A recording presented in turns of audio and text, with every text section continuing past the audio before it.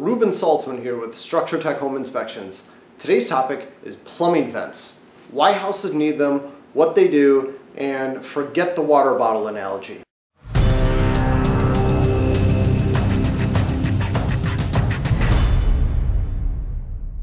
I've got a water bottle sitting here and I'm going to do a quick little experiment. Now I've heard people say that you need plumbing vents to help things drain properly. Think of a water bottle. You tip it upside down and water doesn't drain well at all. You need to have something inside that bottle.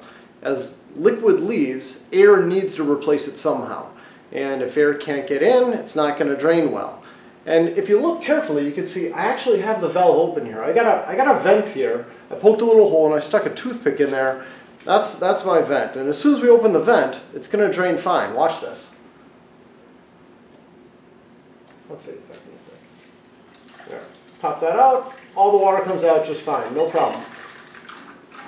It's a nice demonstration, but the problem here is that this is not an accurate representation of a plumbing system or a plumbing fixture. If this soda bottle or water bottle, whatever it is, if this bottle were a sink, it would be wide open at the top. So to do an accurate demonstration, I would need to replace this sealed bottle with a bottle that's wide open. So there we go. I changed it. I cut the top off. I'm going to fill it up with water.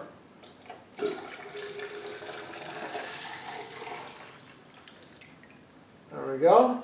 Now, if I open this, you already know what's going to happen. There's no point in doing a test like that. The water's going to shoot out faster than it did the first time. So why do we even have plumbing vents? Well, it's all about protecting our traps. If you don't have a properly vented drain, you could have water getting sucked out of a trap. Allow me to demonstrate. I'm going to create a trap out of this little tube coming down here and we're going to see what happens. Alright, so I've done it. I've set up a trap now, and so here we've got, this will be our P-trap, and then it comes over, it goes to a sanitary T, and the water goes down. And this would be the vent, except I'm going to cover up the vent for this experiment. We're going to see what happens when it's not vented. We'll go ahead and drain that water out.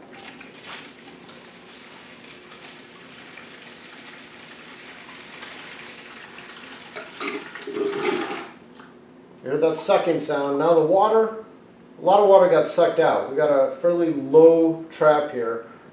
And now we're going to repeat it, and we're going to see what happens if it's vented. I'm not going to cover the vent with my finger.